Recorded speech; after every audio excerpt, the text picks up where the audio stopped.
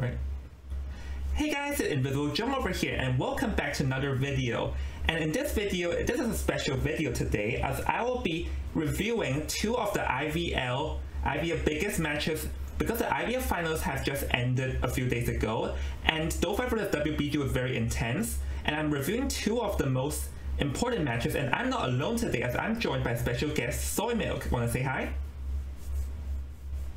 Hey guys, I have the honor to be on Invisible Jong channel for the first time. I'm really happy to be here to review this match together with him. Yeah, I'm actually honored that she's here because she's also an official IVC caster, and I'm actually collabing with an official IVC caster. Like, I'm honored to have you have you with me, Soy Milk. Oh, no, same, same, same. I just started, so yeah, I'm, I'm really happy that I can meet Uh, a DTV creator like you and we can collab together and enjoy this amazing IVL action. Yeah, this IVL action. So about this IVL action, we, we, we are going to do two two review matches. The first match was the Joseph match, which was in Soymilk's channel. So go ahead to check check her channel out and I'm gonna leave the link to the video in, in the description below where I have commented with her and without that this is the second match which is the final match which was one of the most intense things I've ever seen, right? Yeah, this is like the peak of excitement that you can get right now in IDV competitive play. Like this is the match that everyone everyone that plays IDV and wants to know the latest trends and the latest gameplay and the most exciting thing. This, this is it. This is it, guys. This is it. Do5 versus Weibo. Let's go. Yeah. So just some quick background info. Do5 survivor must get a free escape or more. If it's a tie, WBG wins. So yep, so with the background information out the way, let's not waste your time. So this map. Yeah. So yeah. So this is the stage. Actually, I'm gonna say the stage is so beautiful. yeah. With audience in it. So Leo's memory. Because keep in mind, Do5 must get a free escape in this game. And WBG we trying to tie, so we can see the Sphere for and actually the coordinator ban is a particularly interesting one because Do5 is known for their coordinator tactics and being very skilled with it, so that's why WBG wants to remove it. Yeah, as the coordinator of Do5, it is amazing. He she he uh, the Upsi can kite for like three ciphers with it, and also other survivors. But wow, what we see here, Jong? They chose Explorer. They chose Explorer right wow. now to Leo's memory. It's actually why like when I saw Explorer right here in this map, I I literally thought like very risky because Explorer, if he gets found early game, is pretty much over. Yeah. It's pretty much over. So we need to see how is Do5 taking this huge risk. But once again, high risk, high reward. But still, this is a huge risk. Yeah, but they, they to be fair, they do need a free escape. So this is understandable, especially in Leo's memory. There there are lots of like grasses and and places for the explorer to hide. So it makes sense over here for them to explore as they wanted to rush the ciphers because they need a free escape. Yeah, one, yeah, one, once they they ban, yeah, exactly. That actually kind of makes sense because we need to recount, like, count on his hide and seek situation. Like, if he can um, be able to find a very good hiding spot. So we are really looking forward to see what are going to be the strategy playing with Explorer, and together also with Ada. What do you think about the Ada pick right there, Jong? Do you think it's like a plan, or do you think it was just just have nothing else to choose from their cards? Well, the psychologist pick psychologist is a solid character. Yet there's one thing to note there is that she she's very weak in Gate War, but I think Do5 chose the psychologist because they just want to be steady and heal each other up when needed because they must get free escape. But would you look at this Soul Weaver? I actually feel like this Soul Weaver pick is a pretty good pick because Soul Weaver can target the can target pretty much anyone apart from the mercenary over here. Yes, definitely. Especially once she gets her two spits, then she can stop the rescue. But the main thing about the Soul Weaver here is whether she can keep her webs the longest and and then also not waste them. And because survivors will try to make her waste her resources. So she's going to have to play very smartly here. But once again, she needs a tie. So this is the crucial part of this match. She cannot afford three people escaping from the gate. Yeah, but one good news for Soul Weaver is that there are no harassers in this game because there's no enchantress or, or other harassers. So Soul Weaver can pretty much just find a target and stick to it and trying to try to eliminate one survivor before before gate war and one more then a tie will be enough. So we'll have to see what, how does Do5 Survivor plan to get a free escape. Yes, I, I believe they're just going to try to rely on the kiting of the acrobat, the kiting skills of the acrobat, and psychologist definitely will try to just uh, support, strong support, while explorer shall never be seen. Yeah, explorer cannot be afford to be found. If explorer gets found, then it's pretty much pretty much game over because explorer has no kiting abilities. Yes, it's so scary. And if you quickly look at the build right here, there is a one flywheel coming in from the Explorer. Interesting. While the Explorer and Mercenary have borrowed time. Yeah. Ooh, cool. Explorer with borrowed time. Uh, no, sorry. Um, Tide Turner. Yeah. Yeah, yeah, Tide Turner. I was saying Tide Turner. Sorry. Actually, I think I just noticed one thing. Explorer, mm. Explorer has Flywheel and Tide Turner, which means Explorer mm -hmm. does not have borrowed time. Mm. Yes, yes, yes, yes. I was like, there's there's something missing right there that is always supposed to be time. there. Oh, it's the borrow time. Okay, okay. So, wow. Old, old gamble. That is crazy. That is that is insane. Yeah, that is insane. That is insane. To be honest, like, wow. Okay, let's let's get right into Leo's memory YMM Spider. Let's go. Yeah, so we were over here. Here's Spawn gonna go for the shine. but over here it's going to be the mercenary, which is the one person Soul Weaver does not want to chase first, which is unfortunate to, to YMM. Yeah, he's like, I don't want to see your face, mercenary. Please, I want to find my juicy rescuer uh, survivor, which is the explorer right here. Where is he? Like, he's probably just following the spawn at this point because he knows the spawn, but he also trying to see where he can get lucky and get that the juicy explorer. Yeah, well, he located Acrobat over here, but Acrobat will be tough to chase, especially in the factory because there are just so many areas. And the second, the second story, there's just so many places for the Acrobat to loop in, the, in these two stories. So that's why Soul Weaver does not want to engage it. Yeah, there's too many area here to be kited, so that's why she, uh, Soul Weaver is like, nope, I'm going to open area, one of the best areas for Soul Weaver, and also uh, found already the psychologist leaving the blood trail right there, and immediately use Blink, very aggressive, taking the first hit on psychologist because he needs to get his presence as soon as possible. He's not taking any chances. There's no much mind game here. He just went directly for the first hit. Yeah, he wanted the first hit in order to ensure chase because Soul Weaver actually saved up a lot of webs early game from wandering around. So now Soul Weaver can use all the webs over here to ensure that he can get the psychologist as fast as possible as he already got one hit over here. Yes, once again, that that web missed. That was so close, but now he luckily he got like you said a lot of webs to, to work with, so he's not afraid of using them right now to get all the speed boosts, ignoring some of the coding there, but going for the main prey, which is the psychologist. He's going to try to loop around this uh, pallet area and successfully mind game and get the first down. Yeah, well, so far, so far actually on paper it looks like it's a two and a half ciphers, but actually it's, it's three ciphers added with the explorer. So the first kite is a free cipher kite, which means that, that in a game that it has to be free escape, things are looking good for Do5. As first kite free cipher is normally enough for a free escape.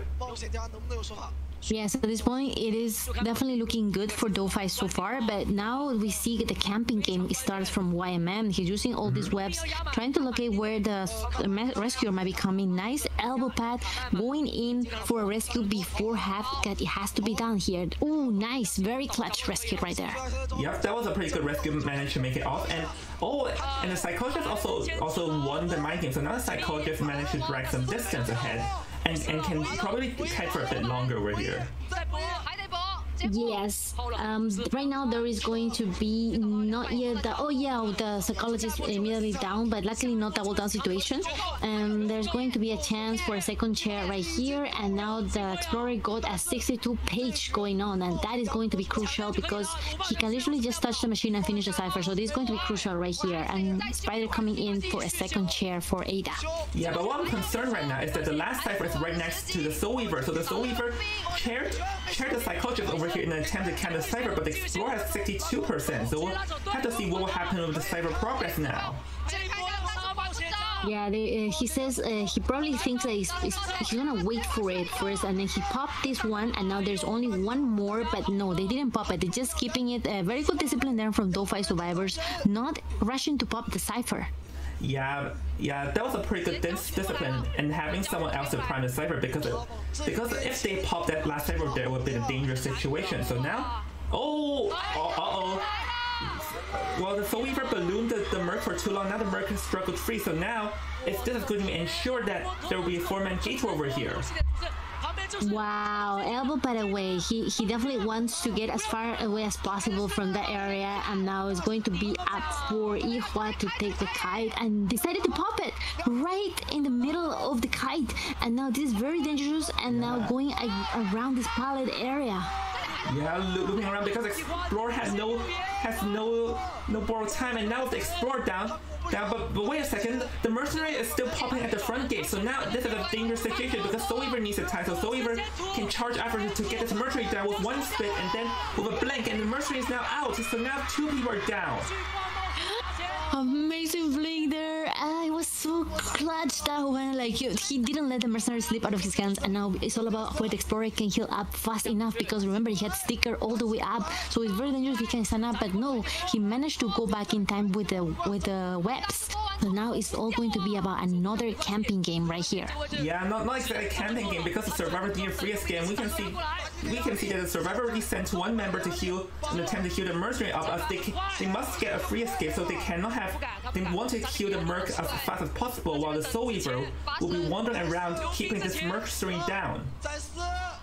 Yeah, we see the survivors have spread up. Ada opened, the psychologist opened the other gate, which is really good, but now it's going to be up for the mercenary to go for his chair, and now YMM is still waiting for his web because, look, imagine he's, he doesn't have enough web for Cocoon Death.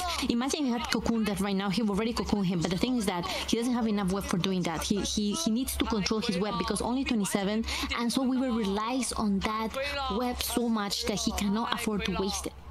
Yeah, and right now the survivors are, are, going to, to like run back and forth to bait him because over here the psychologist is, is baiting through the front gate and Acrobat baited it was there to rescue. Oh, that was a pretty nice rescue over there. As everyone is going to rush through the gate as the psychologist is still popping. Exactly. 87 is not yet fully open. Oh, nice heal the psychologist. And now it's two people down and two people half head. Yes, and the psychologist, remember, psychologist is dead on chair. So, but the Soul Weaver cannot chair though, because if the Soul Weaver chairs, then everyone would just rush up and pop the, that gate. So now, Soul Weaver will have to be very careful in finding her target over here. Yes, that's going to be so so close because now everyone is spreading out and there is no target that she can actually point and throw the web because they're putting so much pressure on YMM and YMM literally is kind of like being surrounded by survivors, getting a hit on the mercenary and now he's rushing to the gate to try to force it open. Yeah, will he do it? Oh, he managed to force it open. Actually, actually the mercenary already dodged, dodged a, a spitting web before, and, and that was pretty crucial because that allowed him to pop the gate. So now even though he's down, the gate is open, and that opens the door for the remaining survivors to escape. Wow, he, he, this this this mercenary is very slippery, and YMM knows that. That's why He dropped him because he afraid that he might struggle free again. So he's so scared about that, and now he's going just for a more more feasible target, which is a, a the psychologist here with the blink. So that's what YMM was forced to do. While everyone else is just healing up, Jong. Yeah, because psychologist is dead on chair, and right right now because the tension is already over, so Explore and Acrobat are planning to heal each other up so that they can body block whenever needed to tank one extra hit. So right now, right now YM is just gonna wander around trying to keep this mercenary. Yeah, this mercenary is so slippery. We have seen him struggle free before, and then we don't know whether we might see him again. So it is it is clutch definitely the way he um, oh he did struggle free.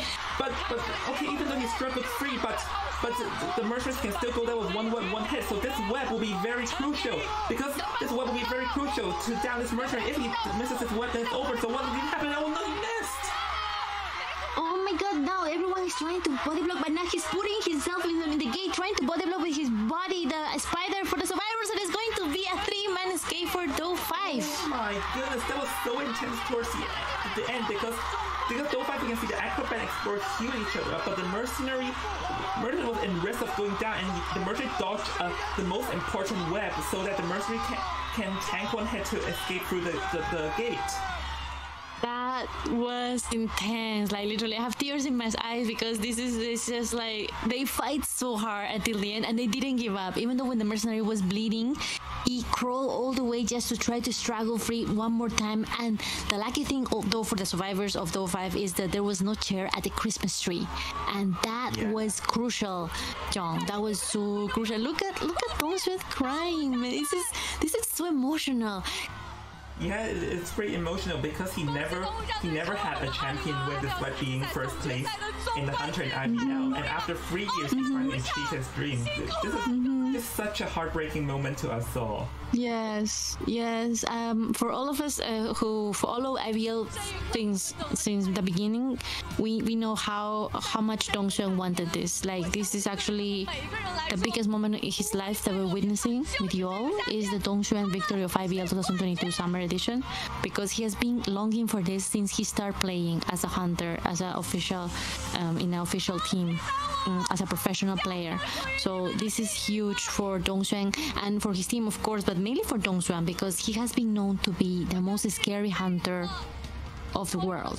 So he is just a beast. So to he able to be to be winning this one with his team together is just is just amazing. There's no words to describe it, but you just see Dong Xuan right there, and you just get all the feelings that he's feeling.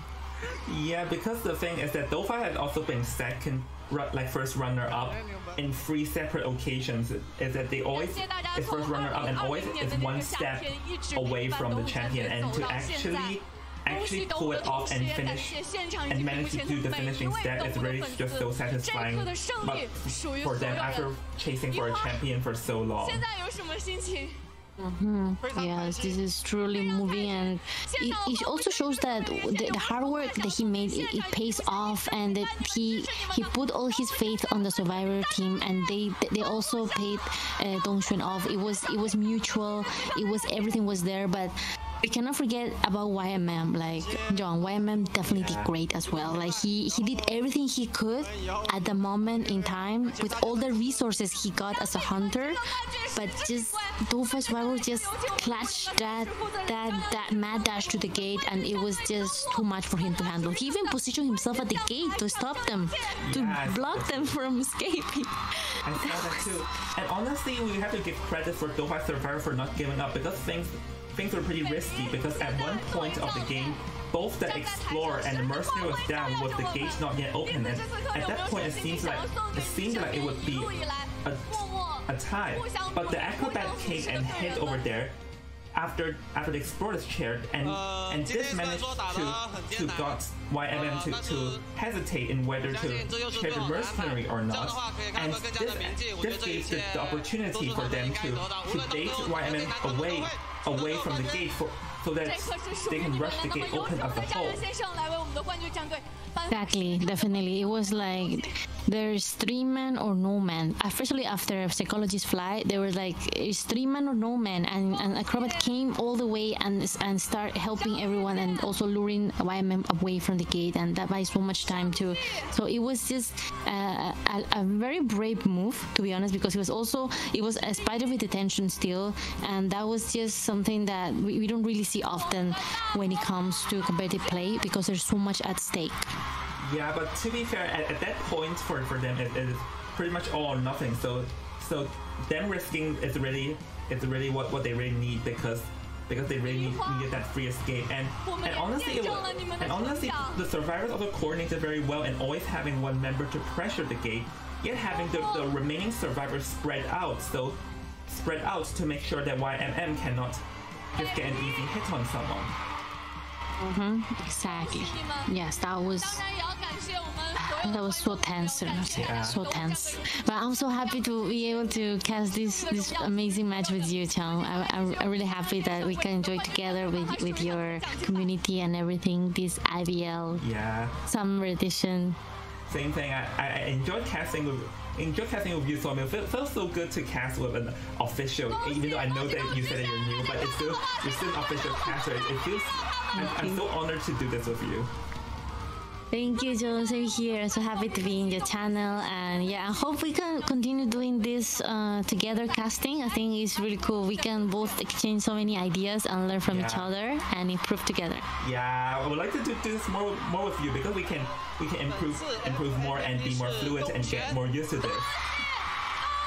Yeah. So, guys, any any any anything that we can improve and then constructive criticism, we really want to hear too. And also, let us know if there's any match that you really would like to see together, and then we are, will be very happy to also commentate it. Yeah, th- yeah. Guess this is a new thing that we do with you, you now, huh? Mm -hmm, that sounds quite cool yeah, if you want to, yes. yeah. Mm -hmm. Anyway, so yeah, thank you guys for watching this video. And if you guys haven't checked the previous Joseph match, make sure to go to Soymilk's channel and check it out, where I also commentated this with her. And, and once again guys, thank you all for watching and hopefully you guys enjoyed this video. If you did, please leave a like and comment and subscribe if you want to see more, more videos from me. Anyways guys, this is the end of the film and I'll see you next time. Bye! Want to say bye from it? Bye! Bye! bye.